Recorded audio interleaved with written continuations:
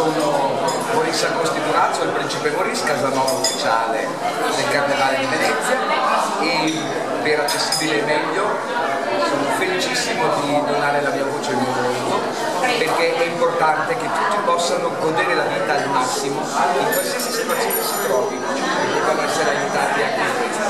Per cui dismappa.it, seguiteci e rendeteci la vita migliore.